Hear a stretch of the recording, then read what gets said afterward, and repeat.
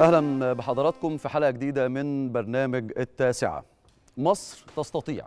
مش مجرد اسم برنامج برغم إن هو آه، بيتناول معظم الحاجات المثيره أو متميزة في مصر على المستوى آه، العلمي المستوى الاجتماعي المستوى الثقافي. امبارح تابعنا موضوع مهم جدا تم آه، نشره من خلال برنامج التاسعة ومن خلال برنامج مصر تستطيع اللي بيقدمه الإعلامي آه، أحمد فايق بسبق كبير جدا. امبارح برنامج مصر تستطيع قدم تغطية شاملة لاكتشاف فريق علمي من مركز الحفريات بجامعة المنصورة لحفرية حوت عاش قبل 41 مليون سنة. 41 مليون سنة هنا في مصر. آه، الاكتشاف ده تداولته الصحف والتقارير العالمية خلال الساعات آه، الماضية زي جارديان والاندبندنت وسي ان ان وغيرها من أبرز الصحف آه، العالمية وألقت عليه الضوء آه، بشكل كبير. الحوت اسمه توت آه، سيتس هو اسم الحوت أو الحفرية حفرية الحوت اللي تم اكتشافها. الاسم لو نلاحظ توت سوتس اللي هو يعني الاسم تيمنا بتوت عنخ امون ويمكن جامعة المنصورة كانت بتحتفل بمئوية اكتشاف مقبرة توت عنخ امون في هذا الحدث المهم والمميز. واللي كل الصحف العالمية زي ما أشرنا تناولته النهارده حوت في مصر. تم اكتشاف حفريته من 41 سنة 41 مليون سنة عفوا آه، نقلا عن برنامج مصر تستطيع واللي بيقدمه آه، الزميل أحمد فايق الحوت اللي تم اكتشاف حفريته امبارح واللي بيعود تاريخه ل 41 مليون سنة هو الجد الأكبر للحيتان والدلافين اللي عايشة لحد النهارده. وهو برضو واحد من أقدم حفريات الحيتان آه، مائية المعيشة في أفريقيا. كلمة مائية لأن الحيتان ما قبل التاريخ ده كانت بر مائية لكن السلالة دي أو الفصيلة دي من الحيتان هي الأول فصيلة آه، أو سلالة آه، مائية. فاصل قصير مشاهدينا ونرجع نتابع مع حضراتكم باقي فقرات التاسعة. في الحقيقة م- مهرجان العالمين أو العالم عالمين في مدينة العالمين الجديدة بجانب النجاح اللي حققه على مدار الأيام آه، اللي فاتت من أول انطلاق المهرجان في آه، العالمين سواء على مستوى الحفلات اللي بتقدم على مستوى المطربين اللي موجودين على مستوى كل الأنشطة الترفيهية آه، اللي موجودة على مستوى حتى بث هذه الحفلات في الفترة الأخيرة على التلفزيون نجاحات متتالية. لكن في الحقيقة هنا في القناة الأولى وتحديدا في برنامج التاسعة في نجاح من نوع آخر واعتبروا إن ده تحيز للمكان. لأن على مدار الأيام اللي فاتت إحنا قدمنا انفراد أو انفرادات مجموعة انفرادات من اللقاءات الحصرية والمميزة مع نجوم الغناء في مصر والوطن العربي وده على هامش فعاليات مهرجان العالمين مجهود كبير آه، الحقيقة بذلته زميلتنا هدير أبو زيد الموجودة في العالمين واللي أجرت لقاءات مميزة مع راغب علامة مع نانسي عجرم مع رامي عياش إليسا تامر عاشور وكمان آه، كارول سماحة وبهاء سلطان اللي كانوا في حفلة امبارح الخميس بالتوالي مع آه، حفلة الموسيقار العالمي عمر آه، خيرت. تعالوا نشوف ونتابع سوا لقاء زميلتنا هدير أبو زيد مع النجمة كارول سماحة واللي أحيت حفل كبير امبارح في إطار فعاليات المهرجان. نتابع ونرجع تاني مع حضراتكم.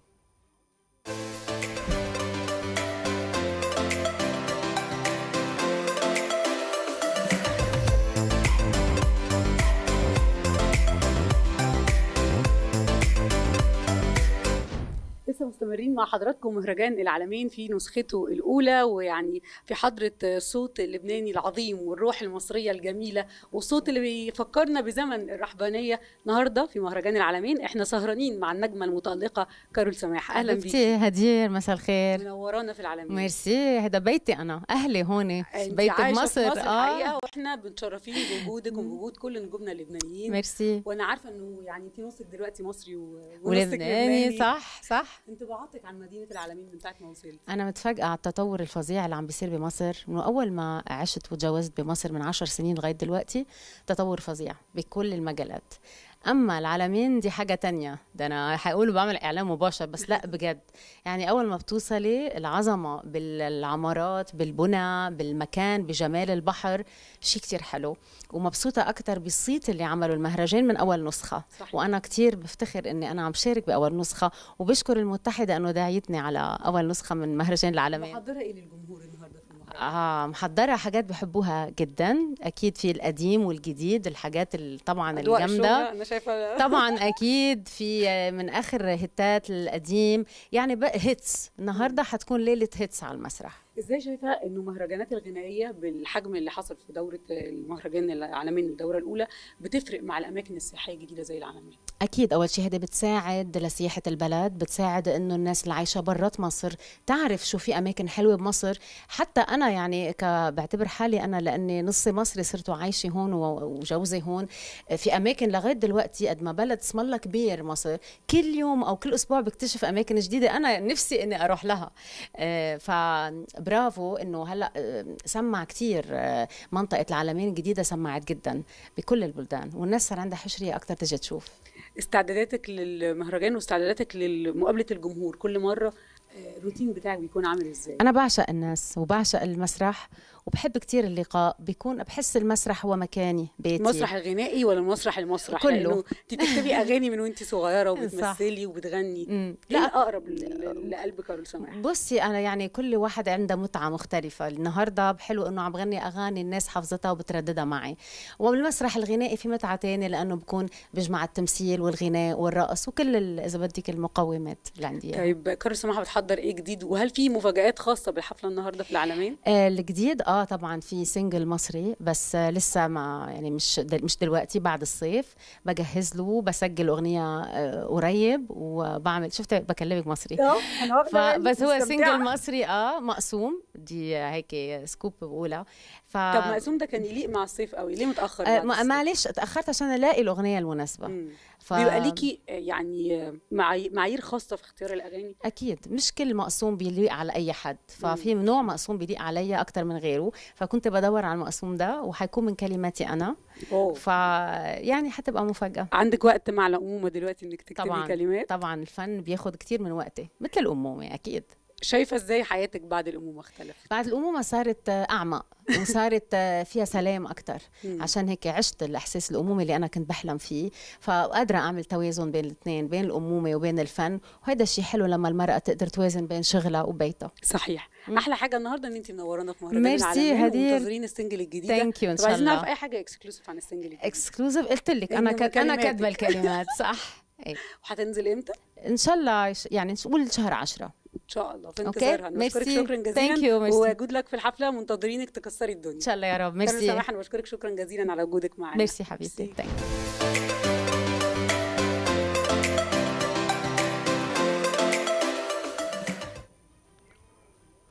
اللقاء آه، اللي جاي بقى هو يعتبر فعلا لقاء حصري من الدرجة الأولى. ليه؟ لأن هو مع الفنان بهاء سلطان والفنان بهاء سلطان من الفنانين اللي لو حضراتكم طبعا عارفين ومتابعين بهاء سلطان والكل بيحب بهاء سلطان. آه، ظهورهم الإعلامي قليل جدا جدا جدا. يعني لو سرشت حضرتك على لقاءات آه، بهاء سلطان هتلاقيها لقاءات محدودة في تاريخه الفني. لأنه إنسان في طبيعته كده خجول ما بيحبش التصريحات الإعلامية كتير. آه، لقاءاته بتبقى مميزة لدرجة إن أنت بتشوف لقائه سواء بقى ساعة ساعتين أيا كان ميعاده أو وقته بتفضل قاعد يعني زي بيقول كده بالبلدي متسمر قدام بهاء سلطان. شخصية محبوبة جدا وخفيفة وخجولة. لكن إحنا زي ما بنعودناكم فعلا في كاميرا التاسعة أجرينا لقاء خاص الزميلة هدير أبو زيد أجرت هذا اللقاء الخاص مع بهاء سلطان على هامش امبارح في مهرجان العالمين. أنا بدعو حضراتكم آه، نتابع اللقاء ده لأنه لقاء آه، هيبقى ممتع جدا وحصري ومهم مع بهاء سلطان وزميلتنا هدير أبو زيد. نتابع. إحنا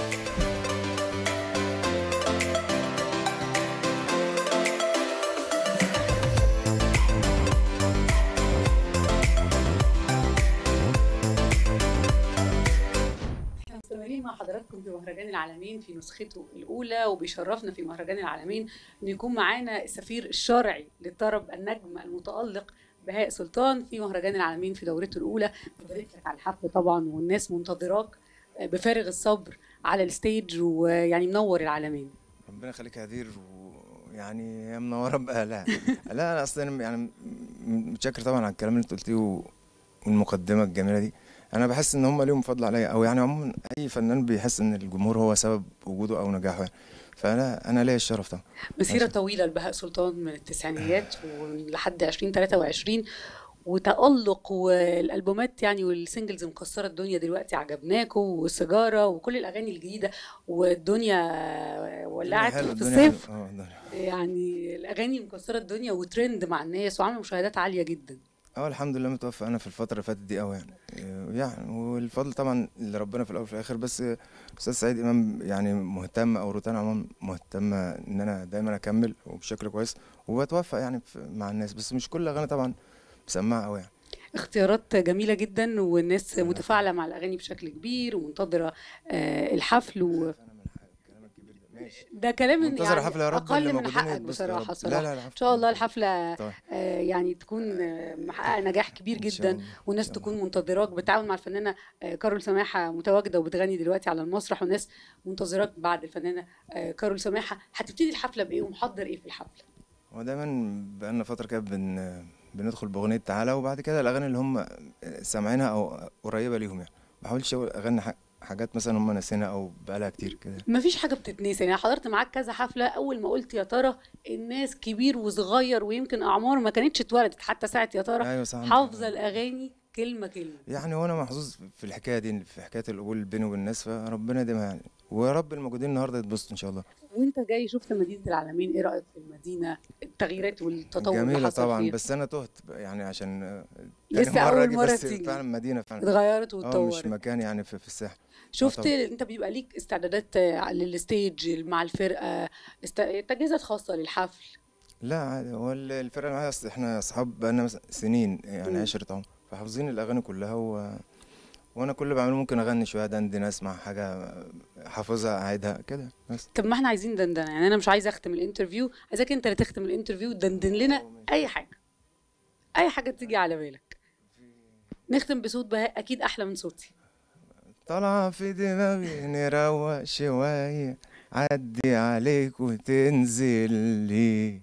أنت فوق دماغي وحقك عليا. طول خصامنا زلزلني. تعالى دلعك مكسرة الدنيا.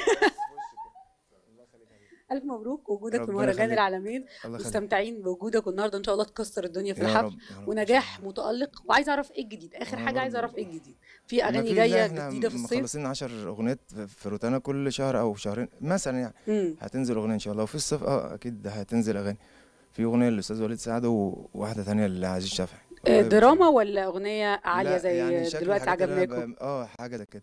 أو الشرق اللي كنت بغنيه زمان زي احلف حاجات كده الشكل الإيقاعي ده أنت شايف الناس بتحبه جدا منك؟ آه هو الاستاذ نصر آه، محروس كان عارف إن صوتي في حتة اللي هو اللي بعياط بترقيص دي بتنجح معايا. صوت آه، فريد من نوعه الحقيقة. بنشكر أستاذ مصطفى. كامل إنه يعني خلاك. آه، موجود ومتواجد على. الساحة الفنية.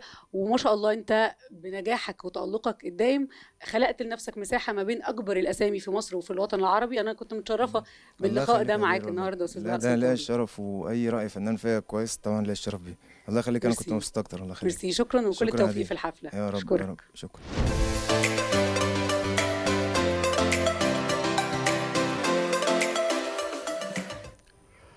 مش بقول لحضراتكم يعني فنان مختلف خجول سلطان الطرب يعني لو لاحظتوا حضراتكم في البادي لانجوج كده وكده فبيبقى هو خجول بطبعه بهاء سلطان برغم تمكنه وإنه بيبقى على المسرح وحش في الطرب وكل الأجيال بقى بتسمع بهاء سلطان. بيغني غنى نظيف بيغني في الصيف الأغاني الصيف لسه في طبعا أغنية مشهورة أخيرا والأغنية اللي ختم بيها كمان اللقاء مع الزميله هديرة أبو زيد. لقاء آه، في الحقيقة أنا بحب أشوف جدا بهاء سلطان وأتمنى يعني وأكيد حضراتكم كلكم بتحبوا تشوفوه. في آه، مجهود رائع عملته الزميله هديرة أبو زيد في الحصول على اللقاء ده وغيره من اللقاءات التانية. بصراحة ما يقدرش يعمل اللقاءات دي غير حد متمكن جدا زي آه، زميلة هديرة أبو زيد. بنشكرها طبعا و آه، بنتكلم شوية بقى عن مهرجان العالمين. الحفلة بتاعه كارول الفنانة كارول سماحة والفنان بهاء سلطان اللي كانت موجودة امبارح اللي ما لحقش طبعا يكون في العالمين ويشوفها إن شاء الله من هي مقرر تعرض اليوم 19 على قناة أون على حسب المعلومات اللي عندي لحد دلوقتي.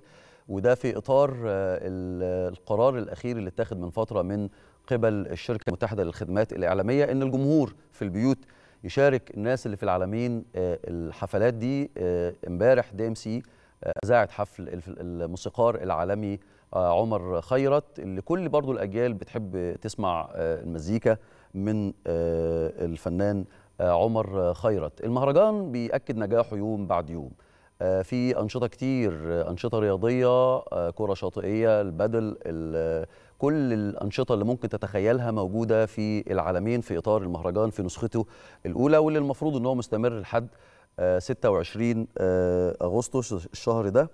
وإحنا كالعادة مستمرين في متابعته كل يوم مع حضراتكم. لنعرض كل يوم الجديد فيه سواء لقاءات مع مطربين مميزين من مصر ومن الوطن العربي. انفرادات حصرية دايما بتبقى من ال- القناة الأولى وبرنامج التاسعة تحديدا. أهلا بحضراتكم من جديد. النهارده الجمعة.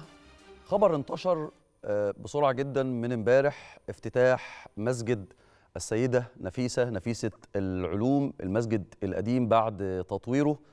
وحضراتكم أكيد كل مصري عارف مكانة ومقدار آه، السيدة نفيسة عند المصريين. كان في سؤال دايما كده بينطرح بين الناس اللي يشتكي من هم أو يشتكي من ضيق أو من أي حاجة آه، يعني المحبين والمريدين يقولوا له إيه بقى؟ يقولوا له روح صلي ركعتين في رحاب آه، السيدة آه، نفيسة. السيدة نفيسة ارتباطها بالمصريين ارتباط عجيب وغريب وكل حب ومودة من ساعة ما جت مصر آه، 193 آه، هجرية وفضلت في مصر لحد وفاتها في سنة 208 هجرية. وطبعا أكيد حضراتكم سمعتوا عن قصة وفاتها ودفنها في مصر. المهم إن النهارده كانت أول صلاة جمعة من مسجد السيدة نفيسة بعد تطويره وافتتاح آه، السيد الرئيس عبد الفتاح السيسي ليه يوم الثلاث الماضي. في صلاة الجمعة طبعا كان بيقرأ القرآن فيها القارئ اللي هو برضه مرتبط بالمناسبات العظيمة الدكتور آه،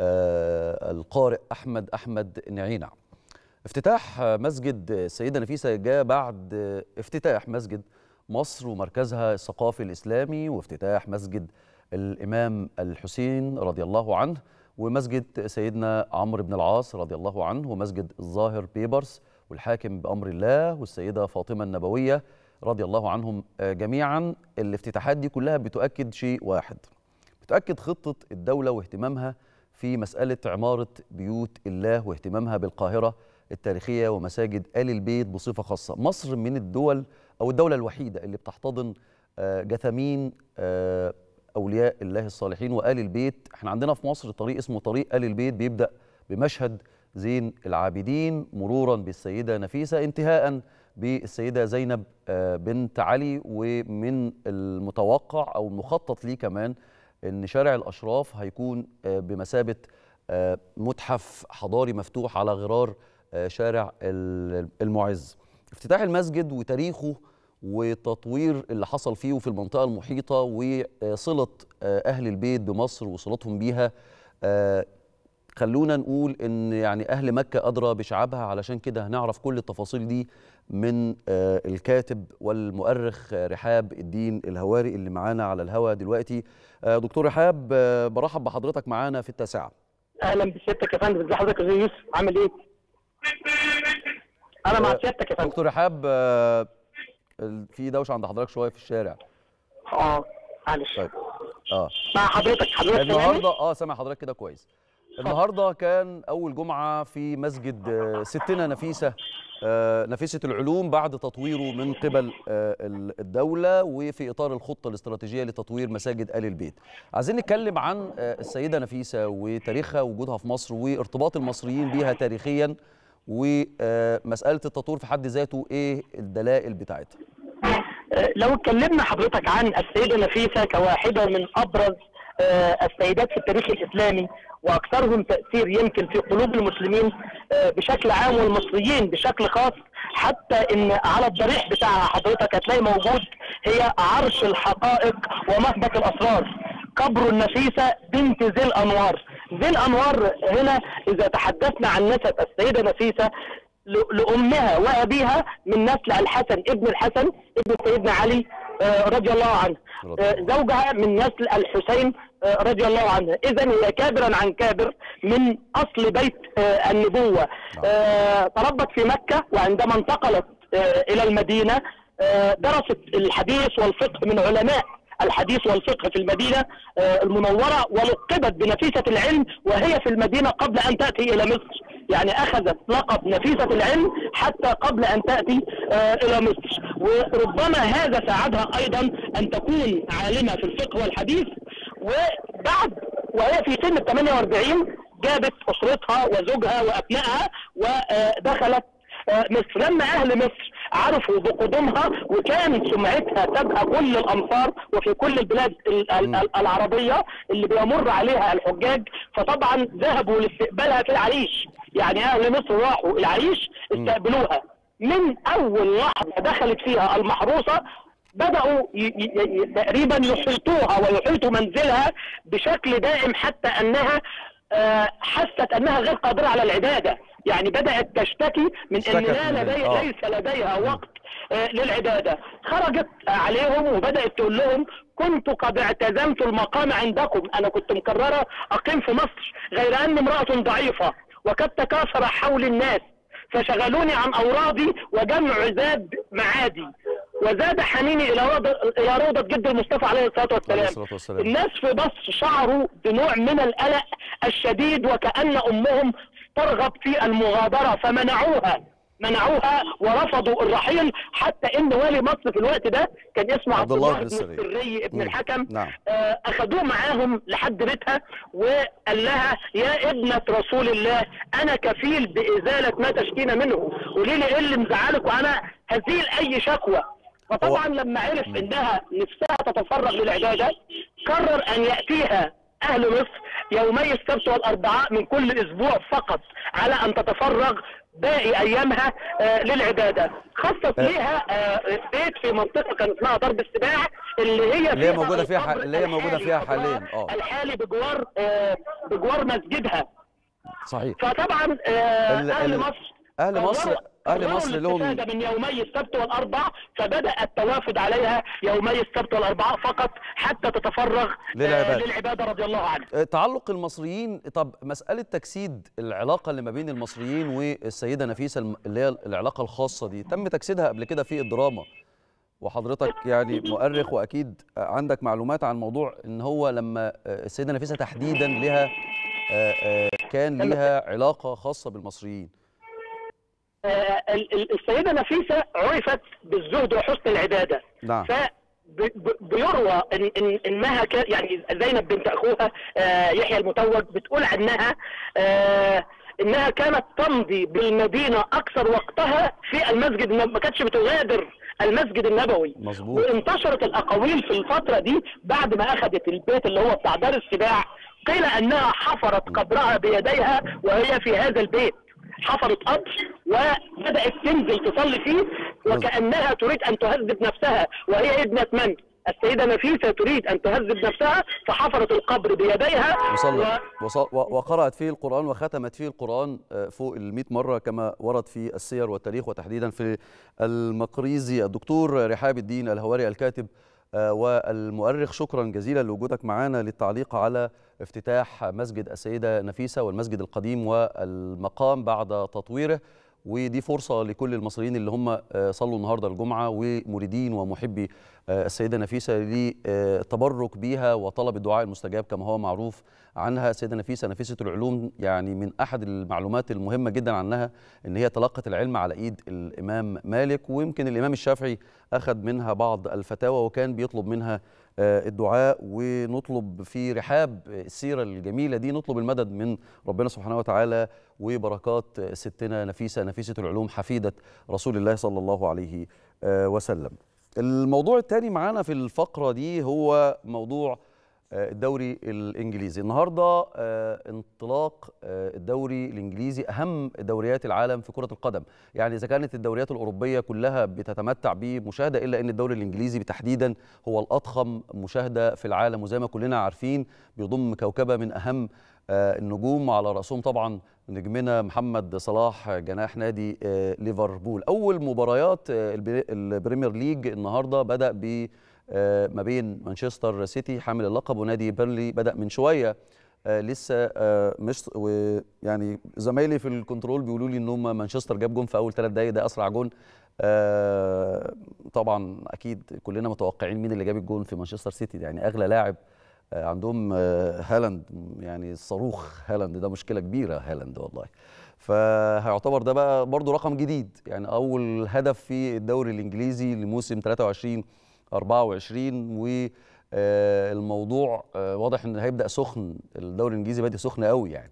وهالاند يعني ما شاء الله ماشي زي زي الصاروخ فيه.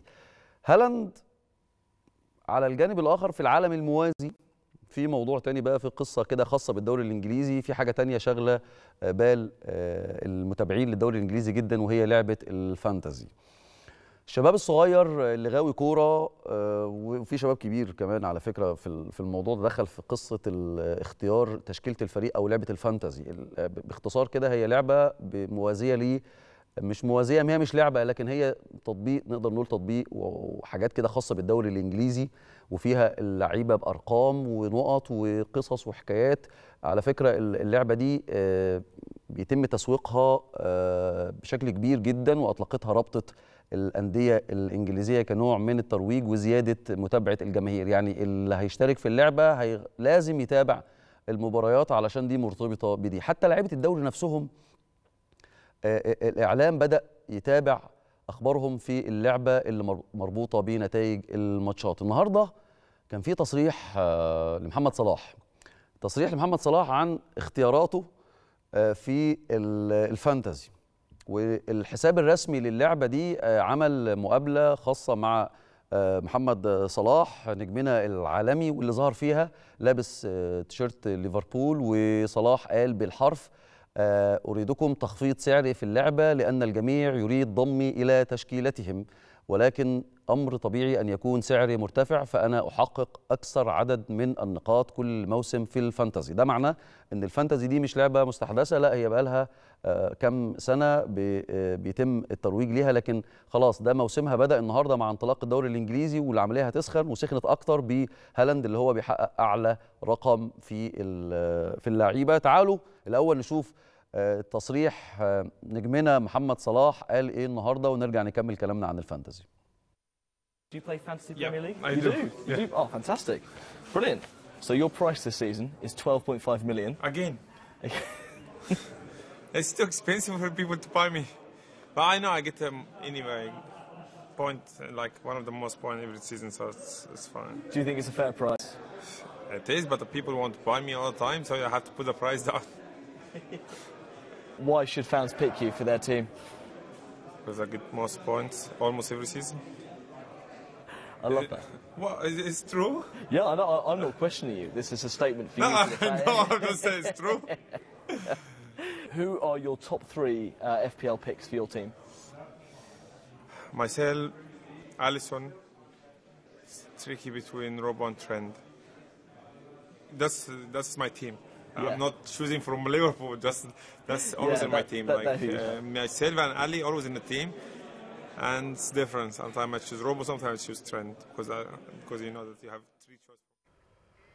ده جزء من لقاء نجمنا الكبير والعالمي محمد صلاح للحساب الرسمي للعبة الفانتزي بيتكلم فيه عن مشاركته في اللعبة وإن هو كان بيطالب طبعا بتخفيض سعره عشان الناس كتير عايزة تضم محمد صلاح في فريقها. بصراحة يعني أنا واحد من الناس بتابع الكرة الإنجليزية وبحبها عشان محمد صلاح في المقام الأول لكن الفانتزي بقى والحاجات دي أنا شوية ممكن أكون ضعيف فيها علشان كده آه، يعني معانا الناقد الرياضي أحمد عصام يشرح لنا إيه إيه قصة الفانتزي والناس تفهمها إزاي وايه الاهتمام الجيل الصغير والشباب باللعبة دي. آه، كابتن أحمد آه، مساء الخير وبرحب بيك في التاسعه طبعا برحب بيك الكرام منورنا دايما في التاسعه كابتن أحمد.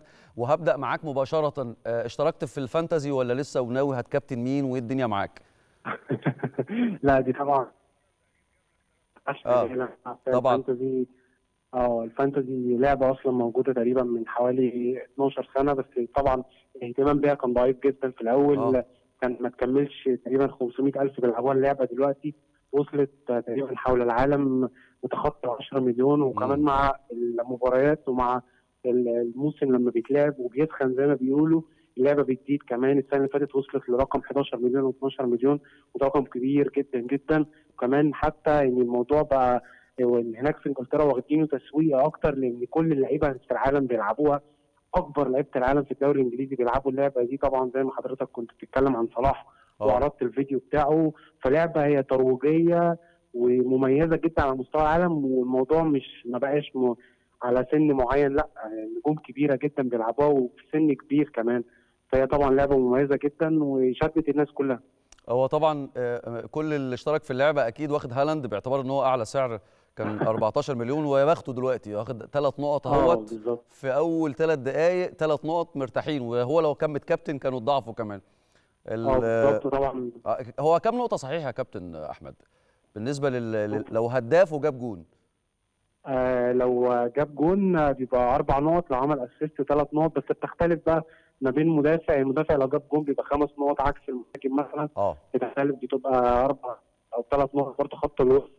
الموضوع بيختلف بين لاعب والتاني بس. طبعا المهاجم بيبقى أقل نقط لما بيجيب جون عكس المدافع المدافع لما بيجيب جون أو بيجيب clean sheets الموضوع بيختلف تماما بيبقى أرقام أعلى يعني. طبعا هالاند نسبة اللي بيلعبوا في اللعبة. تقريبا خطت خطت 90% من معاه وحتى هو ب 14 مليون ده أعلى وأغلى سعر في اللعبة من ساعة ما اتعملت كان أعلى واحد قبل كده صلاح 13 أيوه. وهالاند طبعا بعد اللي عمله السنة اللي فاتت ب 14 مليون السنة دي. ولا وواضح إن هو بعد اللي بيعمله السنة دي كمان. طيب آه، آه، محمد صلاح. محمد صلاح أعتقد هو في المرتبة الثانية يعني ثاني واحد على طول. 12 آه ونص تقريبا آه آه بالظبط ب 12 ونص مليون. هو كان صلاح لما تألق ثلاث أربع مواسم ورا بعض اللعبة خلته ب 13 مليون. بس طبعا بعد التراجع بتاع السنة اللي فاتت بقى 12 ونص مليون و12 ونص مليون ده رقم برضه كبير رقم جدا كبير. يعني هو رقم ضخم. آه طبعا طبعا طبعا. طيب. صلاح أثبت نفسه في الدوري الإنجليزي والكرة الإنجليزية بشكل كبير. قبل ما نتكلم عن تفاصيل اللعبه قوي هي إزاي بتساهم في تسويق الدوري الإنجليزي؟ يعني هو المفروض الموضوع واضح إن هو فيه برضه استثمار. إزاي بتساهم في في التسويق للدوري الإنجليزي؟ هو هو أصلا مش محتاج يعني.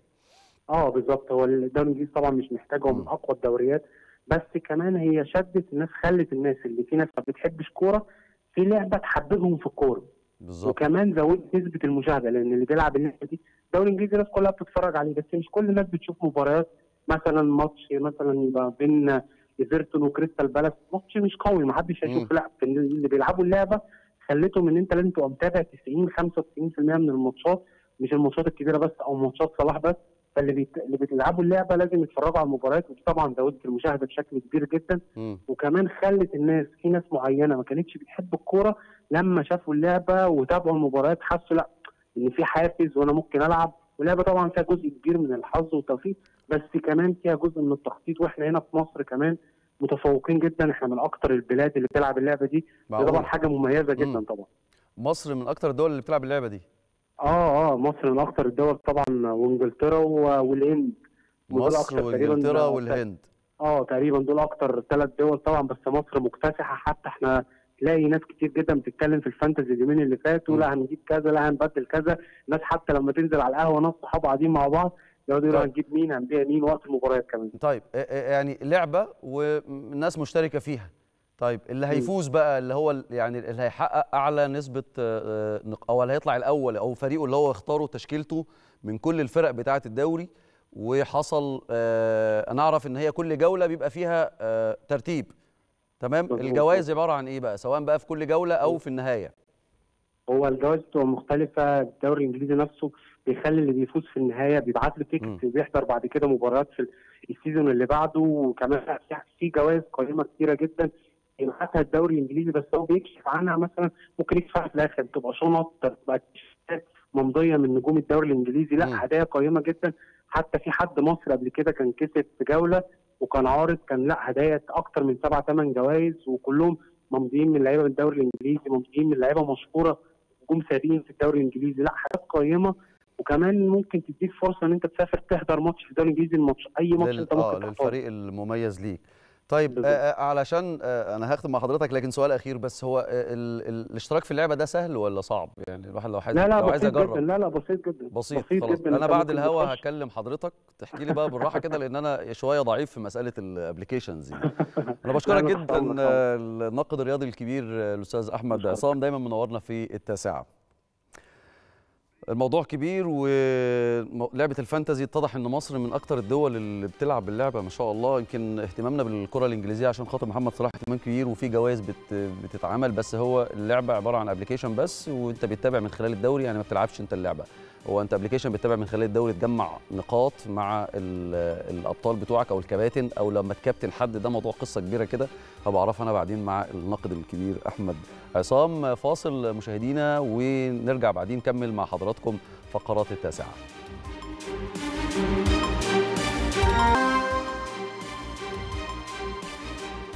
أهلا بحضراتكم من جديد الأرض والسماء. ال- ليلة 12 بكرة بالليل 12 أغسطس في حدث بيتكرر كل سنة. يمكن في ناس كتير ما تسمعش عنه لكن هو حدث معروف جدا وحدث مهم. ونقدر نقول كده في بيبقى في زي كرنفال في السماء في دول معينة بتشوفه تقدر تشوفه بالعين المجردة بدون اللجوء للتلسكوبات. بكرة في حاجة اسمها زخة شهب البرشاويات. دي أفضل زخات الشهب السنوية اللي بينتظرها هواة الفلك في جميع أنحاء العالم. الشهب اللي إحنا عارفينها ال- الخطفة اللي هي بتبقى منورة كده وبتطفي مرة واحدة في في السماء في بقى بكرة في زخة. زخة يعني حاجة كده رشة زي ما بيقولوا بالبلدي.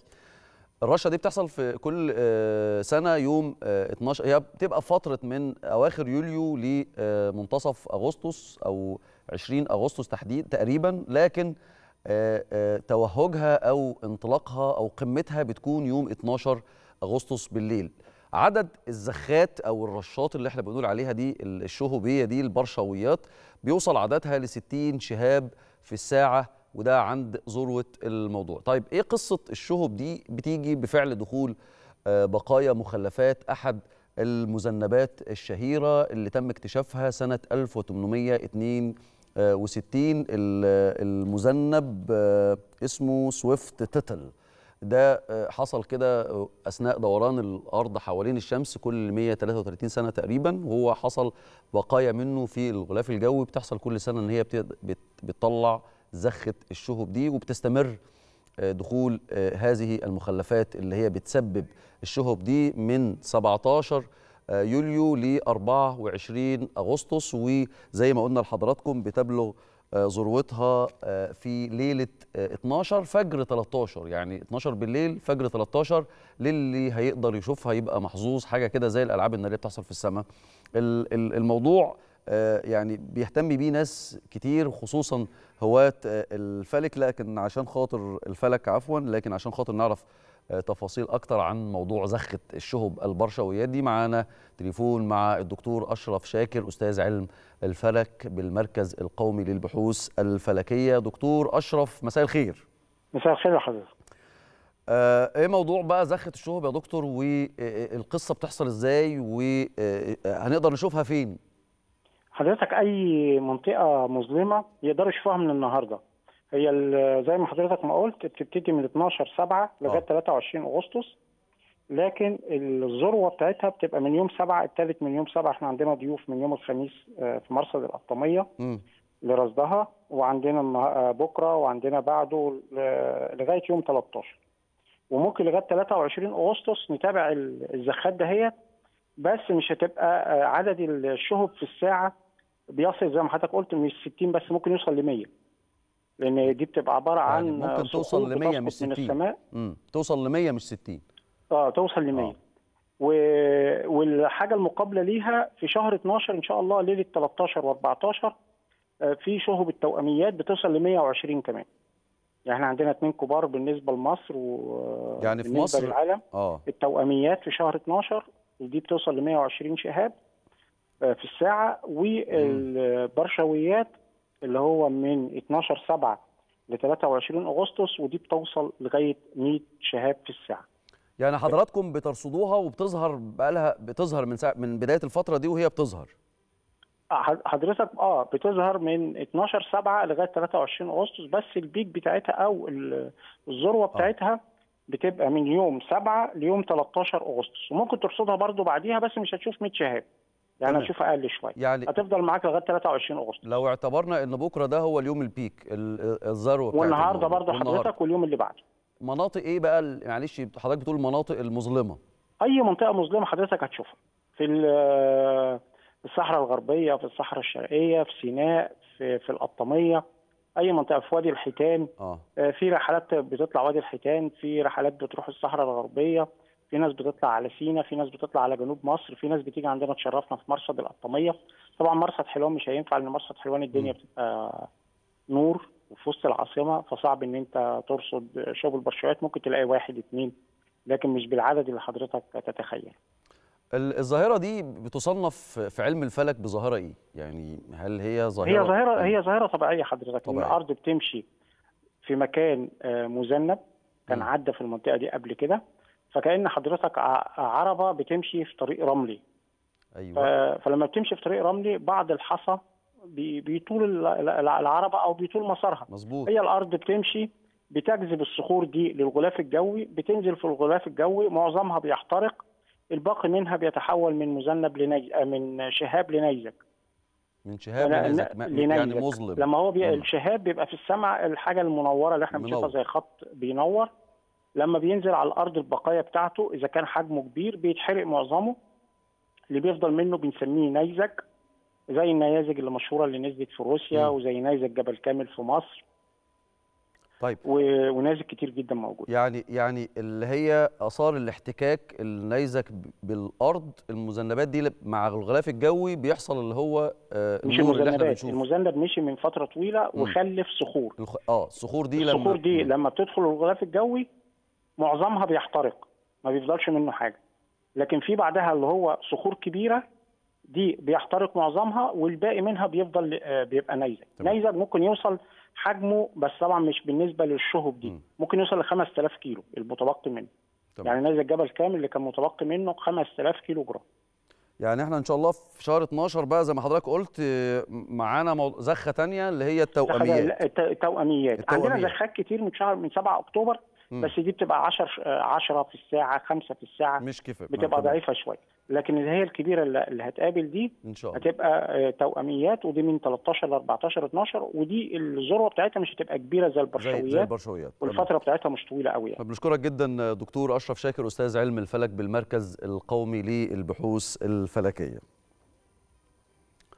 بقالنا فترة ما سمعناش عن كورونا ومتحوراتها وأنا مش عايز أخض حضراتكم يعني إحنا راجعين نتكلم عن متحور جديد ظهر آه، باسم اي جي 5 أو إيرس وده بدأت الناس تتكلم عليه من فترة. متحور انتشر في عدة دول زي بريطانيا زي الصين زي الولايات المتحدة. متحور إيرس ده مختلف شوية عن المتحورات السابقة في إنه بيقدر يتغلب على مناعة الجسم. وده ممكن يكون سبب في إنه أكتر قابلية للانتقال من المتغيرات آه، الأخرى. زي ما حضراتكم عارفين وزي ما اتكلمنا على مدار السنين اللي فاتت في موضوع كورونا إن الفيروس مش بيخلص مش بينتهي. هو بيطلع منه متحورات وكل متحور بيبقى ليه طبيعة مختلفة في الانتشار وفي الأعراض وفي ال ال الإصابات وفي المناطق حتى كمان اللي بيظهر آه، فيها. الأعراض اللي جت للمصابين لحد دلوقتي من المتحور الجديد اللي هو ايرس دي بشوية سعال آه، أو كحه ناشفة صداع سيلان أنف رشح يعني وعطس والتهاب حلق واجهاد وتعب في الجسم. يعني نقدر نقول كده أعراض البرد اللي إحنا كنا عارفينها زمان بس هو ما عادش في حاجة اسمها آه، دور برد ولا إنفلونزا. هو إحنا خلاص بقينا في متحورات ماشيين في متحورات. وده اللي أنا بقوله لحضراتكم مش عايز آه، أخض حضراتكم أو نتخض من كلمة متحور كورونا أو أوميكرون. طب إيه هو المتحور ده؟ متحور ايرس وإيه خطو- خطورته على آه، المدى القصير والمدى الطويل وبيختلف عن المتحورات السابقة آه، في إيه. تعالوا آه، نعرف مع حضراتكم تفاصيل أكتر عن هذا المتحور من الدكتور محمد صدقي أستاذ ورئيس قسم الصدر والحساسية بكلية طب جامعة الأزهر. دكتور محمد برحب بحضرتك معانا في التاسعة يا فندم. أهلا وسهلا. إزيك يا أستاذ يوسف؟ عامل الله إيه؟ الله يخليك يا فندم الحمد لله. إيه قصة المتحور؟ يعني هو الناس الموضوع كلمة متحور وكورونا بتقلق الناس شوية لكن إحنا عايزين برضو حضرتك تقول لنا بقى الموضوع باختصار آه، إيه متحور إيرس الجديد اللي هو اي جي 5 وخطورته وأعراضه وإزاي نتعامل معاه؟ هو فعلا زي ما حضرتك قلت هو متحول فعلا اسمه EG.5 مم. وده متحول ج- جديد من سلاله كوفيد خصوصا الاوميكرون أو الأوميكرون اللي إحنا كنا عارفينه. ده كان آخر حاجة تقريبا. انه آه بالظبط ال- الفيروس كورونا دايما من خصائصه التحور بشويه. آه قبل كده من شهر اثنين كانت منظمة الصحة العالمية حذرت شوية وصنفته إنه تحت المراقبة يعني لسه شوية. آه. بعيد لبعيد. دلوقتي بتصنفوا تحت دائرة الاهتمام. تمام؟ تمام. آه الأعراض لا تختلف كثيرا عن أدوار البرد والإنفلونزا. مم. ممكن تبقى خفيف ووسط وزي ما إحنا قلنا ممكن تبقى شديدة برضه. وهكذا. إنما. هي سريعه الانتشار.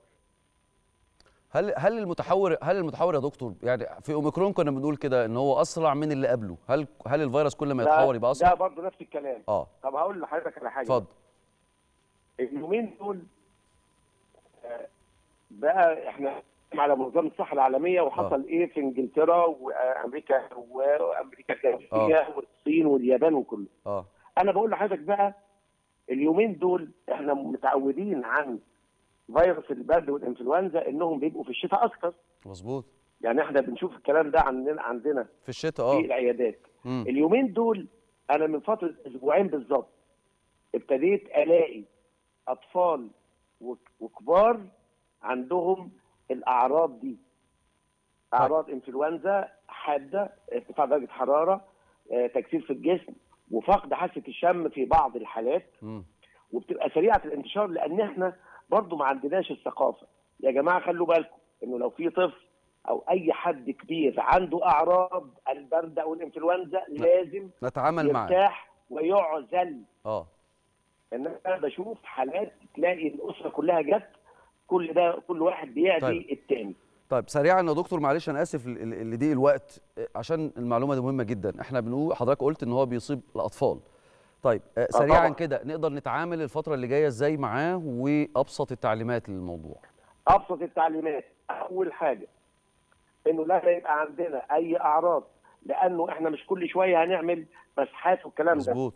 أعراض الخفيفة مم. من رشح وزكام وتكسير في الجسم وارتفاع درجة الحرارة. بناخد مسكنات عادية جدا أيوة. ونرتاح مم. الموضوع لو شديد يعني أعراض شديدة من البداية مم. أو ناس اللي عندهم أمراض مزمنة لا بيبقى لازم يتوجه للطبيب بسرعة لأن ممكن يحصل التهاب رئوي ويبقى المشكلة أكبر ونحتاج نحتاج الموضوع يومين آه. ثلاثة وخدنا مسكنات والدنيا مشت خلاص أقصى حاجة أقصى حاجة أسبوع. مثلا يا دكتور يعني هو في أقصى. حاجة أسبوع تمام. الدنيا مشت أوكي. خلاص متشكر جدا دكتور محمد صدقي أستاذ ورئيس قسم الصدر والحساسية بكلية الطب جامعة الأزهر. طمنتنا الموضوع إن شاء الله بسيط وأعراض كلنا بنشوفها وعارفينها لكن لازم نتعامل معاها صح بدون أي إهمال علشان خاطر الموضوع ما ينتشرش ما بين أفراد الأسرة الواحدة. مشاهدينا أستاذن حضراتكم نطلع لفاصل ونرجع نكمل مع حضراتكم فقرات التاسعة والفقرة الرئيسية.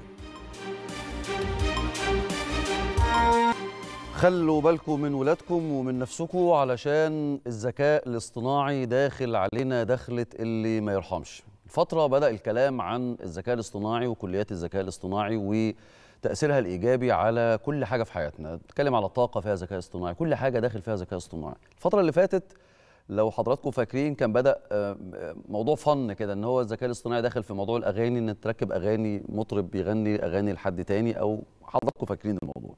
لكن انتشار الشائعات والأخبار الكاذبة فكرة ومرحلة آه، دخولنا لغزو الذكاء الاصطناعي. ده مرحلة جديدة جدا من حاجة اسمها الخداع. عشان كده بقول لحضراتكم نخلي بالنا قوي من نفسنا ومن ولادنا لأن كل ولادنا معاهم موبايلات ومحدش عارف هم بيدخلوا عليه تحديدا مع انتشار حسابات لشخصيات وهمية. الشخصيات دي موجودة كأنك بتتكلم مع شخص طبيعي جدا موجود صور وبوستات وكومنتات. ويرد عليك بطريقة منمقة كده ومنظمة. في النهاية اكتشفوا الخبراء إنها حسابات معمولة بواسطة تقنيات الذكاء الاصطناعي وملهاش أي وجود في الحقيقة. ده معناه مرعب لأن الصفحات دي هتستخدم في حاجة اسمها اللجان الإلكترونية. بمعنى تقدر تأثر بالإيجاب والسلب في أي موضوع وبيناقش السؤال إزاي نكتشف الصفحات الوهمية دي. وده أهم سؤال في فقرتنا النهارده. إزاي أكتشف إن الصفحة اللي أنا بكلمها دي وموجوده معايا الشخص اللي أنا بكلمه ده شخص وهمي أو إن الصفحة دي معمولة بالذكاء الاصطناعي؟ طب إزاي لو آه، اتنشرت صورة مفبركة بالذكاء الاصطناعي أو الشخص ده إزاي أقدر أحذفها أو أتعامل معاها؟ ده اللي هنعرفه مع ضيفنا اللي منورنا النهارده في الاستوديو في فقرتنا الرئيسية في التاسعة المهندس أحمد طارق خبير أمن المعلومات. باشمهندس أهلا بحضرتك معانا في التاسعة. أهلا بحضرتك واهلا بالسادة المشاهدين. تشاركني إن إحنا داخلين على مرحلة جديدة ومرعبة. صحيح صحيح. إيه الموضوع بقى يعني؟ الحقيقة أنا أتمنى إن الحلقة دي توصل لأكبر كم من الناس كالعادة إن شاء الله إن شاء الله لأن الموضوع اللي هقوله النهارده ده هيكشف للناس حاجات كتيرة جدا منتشرة وللأسف الناس بتاخدها إن هي فن ولعب زي ما حضرتك قلت وإنه مثلا عبارة عن الذكاء الاصطناعي بيحول الصور وبيكتب في الكومنتات وبيعمل مقالات وده للأسف إن مش الذكاء الاصطناعي ده مم. 5% من تقنيات الذكاء الاصطناعي مم. أو نعم الذكاء الاصطناعي بمعنى أصح لأن هم الوجه نعم الأبيض. فيه. بالظبط كده ولكن الجانب السلبي زي ما حضرتك قلت في فعلا اكونتات وهمية وحسابات وهمية منتشرة.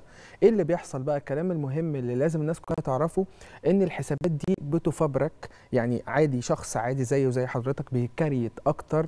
من account على الفيسبوك مثلا عن طريق سكريبت معين أو مم. عن طريق code بي create له الحاجات دي بسرعة مم. فبالتالي بيكون عنده كمية الكمية دي بيكون مش عايزها من غير صورة قبل الذكاء الاصطناعي ما ينتشر قوي كده كان الحسابات دي بتكون من غير صورة مم. أو بصورة ناس تانية أو بصورة البنات اللي منتشره على الجروبات الخاصة آه مظبوط بالظبط بيخشوا بصور عادية فبالتالي بيسرقوا الصور اللي جوه وبيعملوا بيها. حسابات إيه الغرض من كده الغرض من كده إن هم بيبيعوا أول حاجة ال comment ات دي لناس تانية محتاجة إن هي تأثر بالإيجابي أو بالسلب زي ما حضرتك قلت في. بداية الفقرة ليه لأنه ممكن مثلا لاجل الدعايه والاعلان برضه بيستخدموا الحاجات دي للأسف الشديد إنه مثلا أنا عندي منتج معين المنتج ده أقدر مثلا آه، اعمل أخلي- reach ليه ف- بالظبط. ال reach مثلا عايز 100 comment بالطريقة ال- ال- اللي إحنا عايزينها يعني مم. الله أنا جربت المنتج ده المنتج ده فعلا يا جماعة اشتروه هم كلهم ناس وهميين وتلاقي post عليه reach كبير جدا حتى الرياكتات. حتى الرياكتات يعني اللي هي الرياكتات اللي هي آه. ال love آه مم. ال love مثلا أو ال care أو ال love أو أو ايا كان إيه ال react ات أو ال like ممكن توصل لل react ات دي لأكتر من 3000 react مفبرك فبالتالي يعني أنا لما ه search على ال post ده واشوف المنتج ده. فهلاقي عليه الكم... فخلاص خلاص. أنت كده كده وثقت في الخبر أو المنتج أو الأغنية المنتشرة أو ايا كان إيه اللي بيحصل في في اللجان الإلكترونية دي. جميل. اللجان الإلكترونية دي بتسمي المواضيع دي server ات. مم. ال server ات دي حضرتك بتكون فيها ال access token بتاع ال account ات اللي بتخليك تعمل react وأنت مش عامل. account ات حقيقية يعني react ات دي ممكن يكون حسابك من ضمنهم وده بسبب إيه؟ ليه ال access token أو ال ال الأساس بتاع ال account بتاعك اتسرق منك وأنت مش عارف؟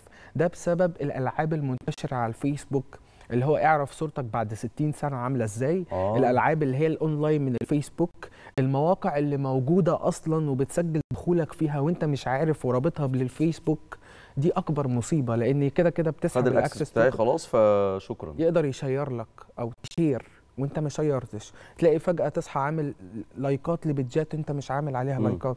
فجأة تلاقي مثلا page ات أو صفحات موجودة أنت مش متابعها تلاقي طيب. نفسك بتتابعها. تحديدا بقى في مسألة ال account ات الفهميه الوهمية اللي هي الصفحات دي والناس موجودة. بالظبط. إيه الخطر اللي أنا ممكن أو أو على المستوى المجتمعي كله بقى؟ يعني غير إن أنا ال access بتاعي أو ال account بتاعي اتسرق ف أو مش اتسرق اتاخد فبيتعمل بيه حاجات أنا ما عملتهاش. بالظبط كده. القصة اللي إحنا بنتكلم عليها النهارده تحديدا قصة إن في حسابات وهمية ودخلت والناس بتتكلم وتعمل ال- واللجان الإلكترونية بقى تشتغل وتستغل أو تستخدم ده. صح. إيه إيه إيه اللي ممكن يحصل؟ اللي ممكن يحصل إن إحنا يعني لازم نكشف للناس إزاي اللجان الإلكترونية دي بتشتغل عشان خاطر يخافوا ويعرفوا من الأخبار المنشورة. اللجان الإلكترونية دي إن هم بيحركوا يعني جيل كامل ممكن يتحرك بسبب ال comment ات اللي موجودة بسبب ال- الحسابات. أصلا الناس ما عندهاش وعي. إحنا في زمن 2023 حضرتك أستاذ يوسف مم. لازم كلنا نكون خبراء أمن لبياناتنا. بياناتنا دي عبارة عن data وكنز كبير جدا. يعني تخيل نفسك واقف في ميدان عام عمال تقول بياناتك للناس كلها. ايا كانت إيه؟ لا وفي شركات بتشتغل تحديدا على جمع البيانات دي. طبعا. ده عايز لها دي حلقة دي أستاذ يوسف. ثروة. آه آه، طبعا. آه. يعني موضوع تسريب البيانات دي في حلقة تانية بالظبط. نتكلم عليها ولكن إحنا هنا في مضمون اللجان الإلكترونية إن هي ممكن تنشر شائعات كبيرة زي ما بيحصل ودولتنا هنا بتحاربها. طبعا إحنا إزاي نفرق ونخلي الناس تفرق بين اللجان الإلكترونية دي؟ وبين الخبر المنشور وبين مم. الحسابات الوهمية خلينا نمسكها من البداية يا ريت. أول حاجة الحسابات الوهمية المنتشرة الحسابات الوهمية اللي هي بتعمل كومنتات كتير على الأغنية أو على منتجات أو على أخبار من الدولة أو مم. خارج الدولة أو ايا كان إيه اللي بيحصل أول حساب ما تخشه هتلاقيه معمول لوك بروفايل أغلبه بيبقى معمول lock profile عشان تخيل إن ده. منتشر جدا آه، الفترة الأخيرة طبعا طبعا يعني أنا كده؟ شخصيا بيجي لي request ات كتير جدا وكلهم لوك بروفايل لوك بروفايل ليه قافلين البروفايل لأن الحساب لما يكون جديد الناس بقت تعرف ده حساب جديد فلما يكون مم. حساب جديد أول حاجة هتيجي في بالنا. block على طول مم. هتشك في الموضوع فبقوا يقفلوا الحسابات ال- اللي هي ال lock profile أنت هتعمل إيه لما تلاقي الحالة دي أنت مش عارف تستكشف الدنيا مم. ولا عارف حتى تشوف الصورة لأنها صغيرة أو غيره وما بتتفتحش في ثلاث نقاط جنب الحساب الثلاث نقاط دي هتلاقي ال user بتاعها لو. لقيت ال user بتاعها مكرر من مثلا آه، حد ناشر خبر أو م share خبر أو بيعمل comment ات تانية تبعد عنه على طول متكرر إزاي يعني مثلا لو أنا اسمي أحمد طارق لو أحمد طارق 506 مثلا مم. تعرف إن ال user ده مفبرك أو قصده من حاجة تانية من الأصلي تاني عشان خاطر النقطة دي مهمة جدا. الثلاث نقط اللي في ال account اللي. باعت لي بالظبط اللي في الحساب آه. موجود يعني مثلا لو في شركة معروفة حتى لو الشركة دي واخدين اسمها وبينشروا أخبار على آه. اسمها آه. أو أخبار عن وزارة الصحة مثلا مم. أو ايا كان إيه الخبر شخص شغال جوه وزاره. وزارة الصحة آه. ناشر أي خبر, خبر منشور آه آه ال account ده عشان نتأكد من اسم صاحب ال account لازم نشوف ال user name ال user name الرئيسي اللي آه. هو بيبقى موجود بعد ال link اللي هو www.facebook.com slash اسم ال account. لو لقيته أرقام اعرف إن ال account ده بيبقى معمول جديد لأن مش بي مش بي بيهتم بال user. name هنقدر نتعامل إزاي الفترة اللي جاية؟ حلو جدا. اولا إحنا هنا يعني أنا هنا بصفتي خبير الأمن السيبراني. مم. دايما بطلع بوعي الناس من خلال حضراتكم إن هي إزاي تس- تستخدم ال social media بشكل صحيح وتشوف الفرق بين ده وده. ده هنا كدورنا إحنا. ولكن كدور ال- المؤسسات الحكومية أو الحكومة نفسها طبعا إحنا عندنا وزارة الداخلية رقمهم 108 بنشكرهم جدا على المجهودات ال- على طول آه بيستجيب. طبعا آه. بيستجيبوا على طول. زائد إن في حاجة الناس كتيرة قوي مش عارفاها. المبتز أو اللجان الإلكترونية أو الشخص اللي قاعد ورا الشاشة وعمال يعمل شائعات في البلد الناس مش عارفة إن أي منصة موجودة في العالم عاملة منصة أخرى محدش يعرف عنها حاجة وأنا مضطر إن أنا ولازم إن أنا أقولها طبعا عشان الناس تخاف وتعرف إن آه. الكلام ده موجود يعني زي منصة الفيسبوك ليها منصة تانية أخرى. خاصة بالحكومة يعني مثلا الضابط اللي. قاعد ورا الشاشة يقدر يخش بالكارنيه بتاعه ويسجل ويقول اديني معلومات ال account المفبرك ده إحنا هنعرض صورة دلوقتي حضرتك معانا. نشوف من خلالها إزاي بقى آه، بشكل عملي إزاي اكتشف ان ده حساب آه، اتفضل. آه، وهمي علشان خاطر الناس تبقى شايفة الموضوع عملي قدامها اتفضل ثلاث. نقط ونشوف ال- ال user name لو ال user name ده لو بعد مكرر لو مكرر أرقام نشك فيه على طول ما ناخدش. منه معلومة يعني في ناس تقول لك أنا بفتح بقبل ال- ال- ال locked ده بقبله وبعدين أشوف مين وبعدين أرجع لا بلاش أصلا بلاش أصلا آه محدش ياخد معلومات من account ات زي دي خالص لأن خالص. والله منتشر اللجان الإلكترونية عن طريق comment ات بقول لك بال comment ات اللي تعجبك يعني عايز تكتب إيه قول لي عايز تكتب إيه واكتبه لك طب هو هو أنا لو أنا. رديت آه، أخيرا عشان إحنا للأسف الوقت يعني للأسف. الموضوع مهم جدا آه بس مم. هو أعتقد إن دي بذرة آه. ونواة للحديث بشكل أوسع عن صحيح. النقطة دي لانها نقطة مرعبة فعلا صحيح آه لو أنا رديت على على comment مثلا من أو تعليق من الحساب الوهمي ده هو هيرد عليا ولا؟ لا هو مش هيرد. هو أصلا كده كده بيكون لمرة واحدة بيعمل ال comment. ده عشان يحرك الدنيا. بس. ولكن في نقطة مهمة جدا. آه. الشخص اللي عايز يحرك خبر معين ممكن يرد عشان خاطر يحرك الخبر أكتر ما في نقطة برضو مهمة أخيرة أيوة. عشان تكتشف إزاي الصورة دي مفبركة عن طريق تقنيات الذكاء الاصطناعي أو لأ في موقع عالمي من غير ما نقول اسمه هو. موقع عالمي كبير لو تكتب بس وصفه بالعربي في شركة جوجل أو بحث جوجل مم. تكتب طريقة كشف عن طريق مواقع الذكاء الاصطناعي. الصور المفبركة هيفتح لك موقع كبير ترفع له الصورة اللي أنت مش واثق فيها أو إن أنت م- متأكد إن هي ممكن تكون مفبركة أو لأ هو هيجيب لك النتيجة إنه مستخدم فيها تقنية الذكاء الاصطناعي ولا لأ يعني طبعاً. إحنا معانا أهوت لحد دلوقتي طريقة مبدئية طبعا في طرق طبعا نقدر تانية. يعني نخش search على آه، جوجل ونكتب إزاي أكتشف إن الحساب ده صح اللي قدامي ده ذكاء اصطناعي مش حساب حقيقي الصورة وهيرد اللي في. الحساب. الصورة اللي في الحساب آه، هنكشف بالصورة بالظبط كده. هن- هن- هنكشف عن الموضوع بالصورة بلس طبعا إن إحنا لازم بقى نركز الفترة اللي جاية لأن إحنا داخلين على آه، بدأنا بقى فكرة أو مرحلة الشائعات من خلال اللجان الإلكترونية المبنية على صح. حسابات وهمية للذكاء الاصطناعي. فعشان كده أنا بدأت الفقرة مع حضراتكم. نخلي بالنا علشان الذكاء الاصطناعي زي ما ليه جانب إيجابي صح. ليه آه، جانب آه، سلبي. للأسف يعني وقت حلقتنا خلص والموضوع أعتقد إن إحنا حتى يعني دورنا لمبة إنذار وضربنا جرس إنذار لكل الناس. ما تستهونوش وما تفرحوش بكل ال- الريكوستات اللي بتيجي على الفيسبوك لأن ما خفي كان مرعب. مش ما خفي كان أعظم ما خفي كان مرعب في نهاية آه، حلقتنا وفي نهاية الفقرة الرئيسية بشكر ضيفي المهندس أحمد طارق خبير أمن المعلومات أنا بشكر حضرتك شكرا, شكراً جزيلا لحضرتك، وإن شاء الله. هيكون معانا لقاء أكيد أوسع نكمله تاني فعلاً. نتكلم بقى باستفاضة ونجيب بقى رسمي كده و... صح، وعملي عملي، صحيح. عملي ليه إزاي عشان ولادنا وعلشان خاطر الناس اللي برضو آه، الوعي الإلكتروني عندها آه، أو كحماية حساباتنا. بشكل عام وأمن. المعلومات ده موضوع يعني هو ال cyber security ده آه، أمن زي أي أمن زي الأمن الوطني زي أي أمن إن هو شيء صح. بقى موجود في كل بيت وفي كل إيد دلوقتي يعني في خطر عليه على الناس وعلى الأجيال كبير جدا من الجزئية دي بشكرك تاني شكراً. مهندس احمد وجودك. معانا وبشكرك. ونت... وربنا يسترها إن شاء الله لا ما تقلقش. دورنا هنا إن إحنا نحمي أنتم الناس موجودين وإن شاء الله وموجودين. معانا بإذن الله الأمور كلها شكراً بسيطة. مشاهدينا انتهت حلقة النهارده من آه، التاسعة اتكلمنا على موضوعات كتير ب- بسرعة وأتمنى تكون الحلقة كانت آه، خفيفة على حضراتكم ونلتقي في حلقة جديدة من التاسعة وتصبحوا على ألف خير.